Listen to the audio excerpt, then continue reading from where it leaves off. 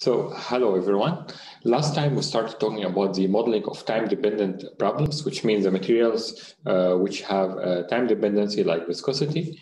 We introduced uh, some phenomenological uh, material behavior, and then uh, we constructed some uh, some rheological model to describe different behaviors like linear elasticity, non-elasticity, viscosity, and plasticity. And then we talked about the solution of Maxwell device, which consists of a spring and a dashpot in series. And this describes the uh, like typical behavior of viscous fluid. Uh, today we'll continue with this and we will address the Kelvin model, which consists of spring and a dashpot in, in parallel. And this represents a typical solid uh, material behavior when it's uh, viscous. And then we will move to a more general model, which is the Poynting-Thomson model, which is uh, more general for the description of viscoelastic material behavior. And this formulation will give us ordinary differential equation, which will uh, be a part of the last section, which is the numerical integration of ordinary differential equation. So uh, this is the uh, typical Kelvin device. As I said, it consists of a spring and a, a dashpot in, in, uh, in. And um, to describe the response of this, we start by the kinematics. So uh, the strain, as you see in the elastic branch and the viscous branch are equal, which is epsilon, so the total uh, like strain of our model.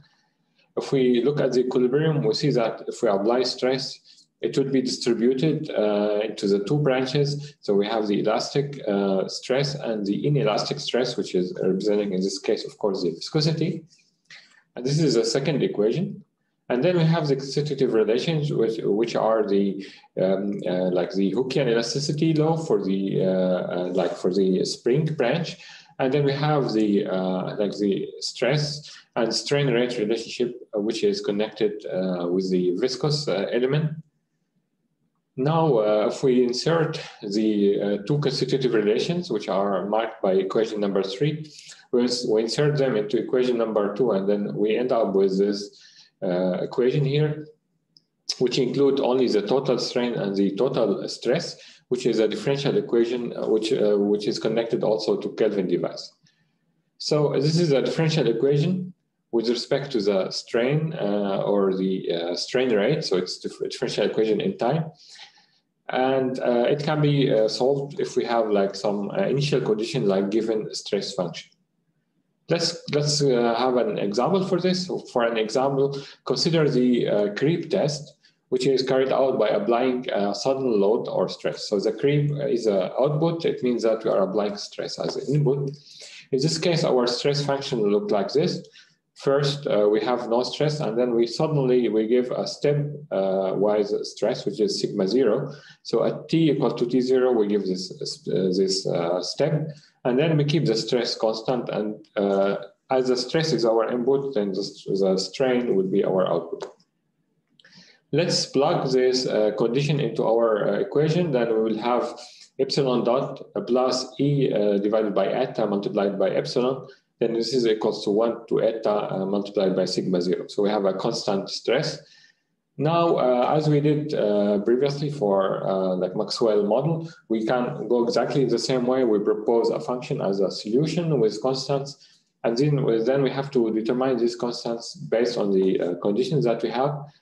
Uh, if, if, we apply sudden stress, then initially the strain is equal to zero because the behavior uh, or for the strain to, to develop, we need to have deformation in the dashpot. And this is um, this will not happen uh, like uh, instantly. It will require some time. Therefore, epsilon equal to zero for t equal to zero. Based on this condition, the solution of our strain function will, will be look like this. It's of course a function of time, so time is the only variable. It includes the material, uh, material parameters, uh, as you see here. So uh, let's plot this function. Uh, by the time, so when the time increases from zero to some kind uh, of infinity, then the strain will converge to a certain value, which is uh, sigma zero to epsilon. So the exponential of minus t, so the t will be my, uh, will be infinity, then we'll be, we will have one divided by infinity, it will be zero. What remains is sigma zero divided by e. Now for t equal to zero, then the exponential uh, function is uh, exponential of zero will be one, and then the strain will be zero. And this is a typical creep response in our uh, in the modeling. Now, uh, as we have seen, the uh, Maxwell model alone, it can describe the relaxation behavior, and the Kelvin model alone can describe the uh, uh like the creep behavior.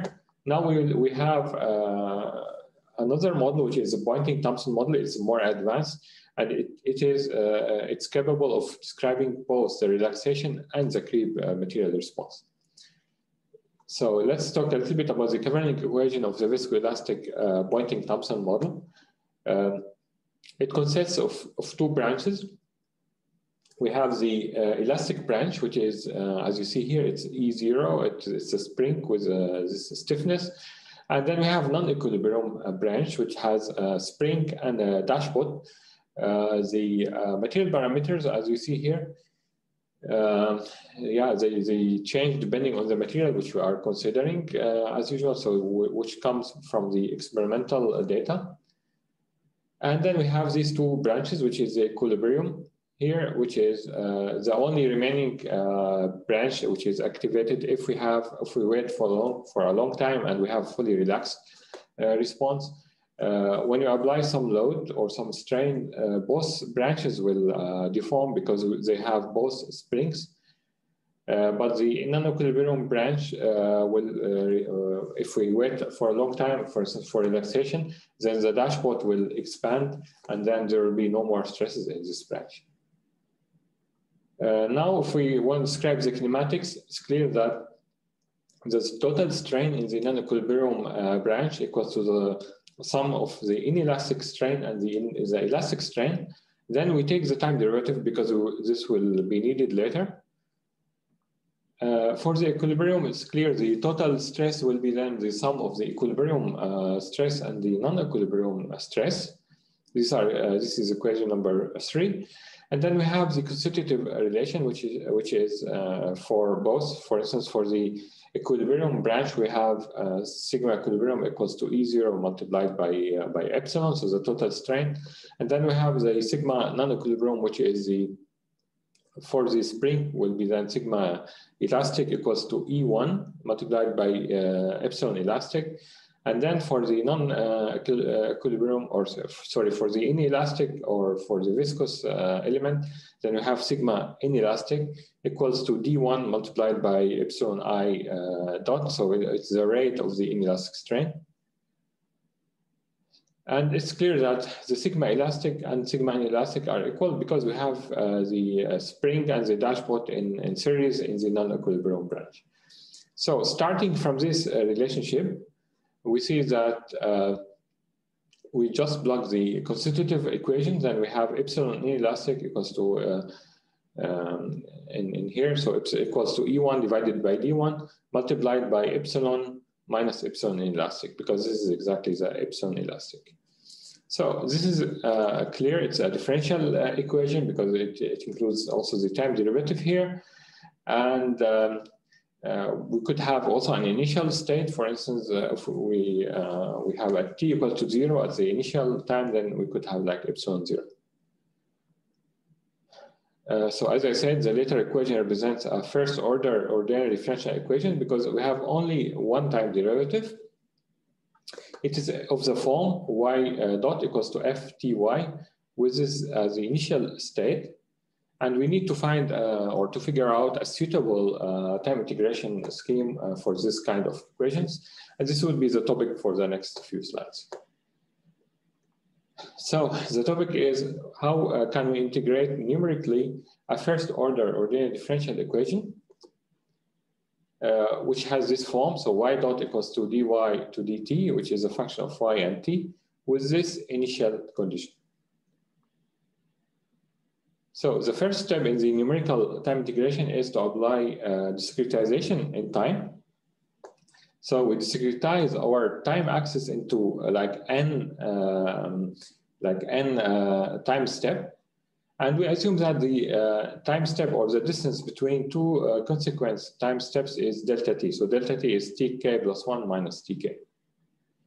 Now, um, uh, we distinguish in, in general, uh, in the context of time discretization, between two classes of time steppings. which are the uh, one-step methods, which uh, by definition, it makes use of the information at one uh, previous time step to determine the current values. there are like typical examples, which are the implicit or backward Euler, then we have the explicit or forward Euler, and uh, we have also the trapezoidal rule as a, like typical examples. Then we have multi-step methods, uh, which store and use the values from previous uh, time steps of several previous, more than one. A typical example would be here the second order uh, backward differentiation formula, or uh, as an abbreviation would be the BDF2. And this is the example or the method which is applied in the uh, software FlexPDE, which you are using in the exercises. Now, um, uh, as I said, there are several time integration schemes, so it's uh, the user's choice which uh, times time integration scheme to be used. And this is a trade-off between stability, accuracy, and of course, computational uh, cost. Uh, let's consider, for instance, the explicit or for, forward Euler. So how we proceed with this, we apply a Taylor series to linearize the function. So we have this is a function, we linearize this around the uh, time step tk, which is the known time step. So this is uh, how usually we uh, derive this uh, time integration scheme. So our function y uh, as a function of tk plus 1 equals to y at tk. So the values at this time point uh, equals to equals to the value at the previous time plus the derivation of the function y with respect to the time at t equals to tk. This is nothing uh, but the uh, y dot at tk, which is our function uh, yk and tk, and then multiplied by tk plus 1 minus tk plus a higher order term. So uh, this is uh, that this represents the linearization uh, error. Now, if we neglect the higher order term, and uh, this will give us the explicit or forward Euler relationship, which is this, uh, this formulation here. And uh, because we divided uh, everything by delta t, then the error will be uh, delta t here. So instead of delta t squared. And this is uh, what we call the trunca truncation error. Now, alternatively, we can go for the implicit or backward Euler. So later I will give a conversion between these schemes. Uh, in this case, we apply also the Taylor series uh, to linearize the function around the uh, uh around the uh, like uh, current time step, so around tk plus one. So in this case, our y tk, which is our function at the previous time step, equals to the value of the function at the next time step plus the derivation of the function with respect to the time at t equals to tk plus one.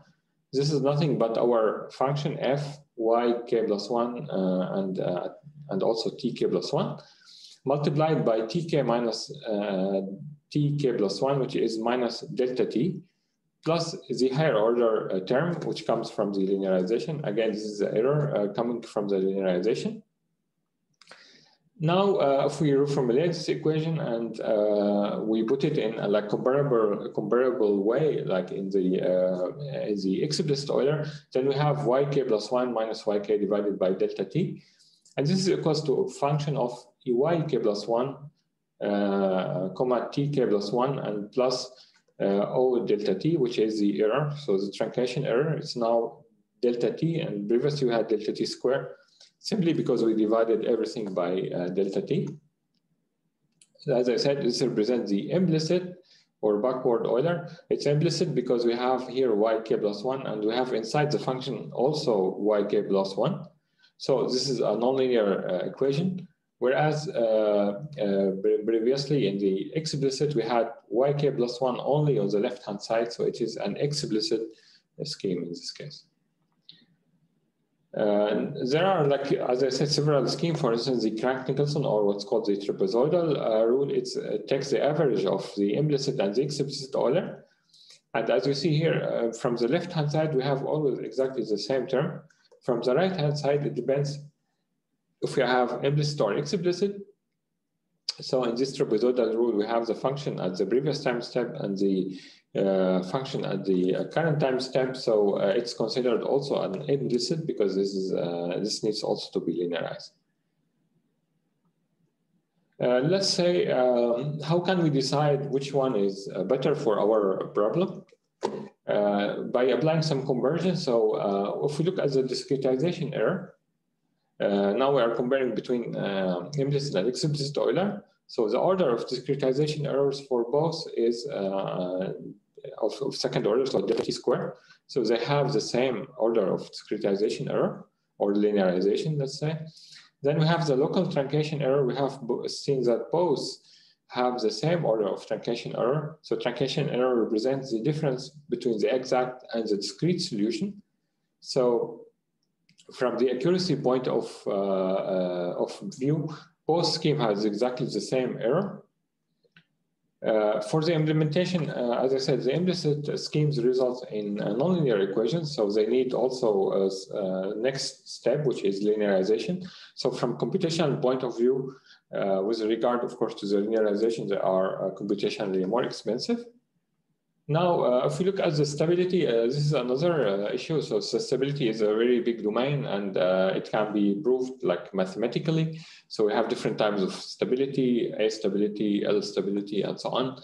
But this is beyond the, the scope of our uh, lecture. So for explicit or forward Euler, we have uh, uh, like a critical time step. So this is uh, this is really well well known. If you have an uh, explicit solution, we have a critical time step. If we uh, go above this critical time step, then the solution will not converge. And uh, so we have we need to use a small time step. So from this perspective, it's it's computationally more expensive because you always need a small time step and uh, uh, this does not um, exist in implicit schemes. Uh, and uh, however, uh, there are like a lot of issues in this regard. So if you are solving a dynamic problem with like cyclic loading, then you will need anyhow a small time step to, to capture the loading, for instance. And this needed time step, uh, it might be smaller than your critical time step. So one goes for explicit schemes and this is what you see, uh, for instance, if you are Abaqus users, you have Abaqus um, explicit, it's mainly for dynamic problems. Uh, but if you have uh, small processes, uh, like which takes like, I don't know, consolidation of soil, or you have occurrence of plasticity under static loadings and, so, and so on, or quasi-static loading, then these processes uh, like occur over a long time.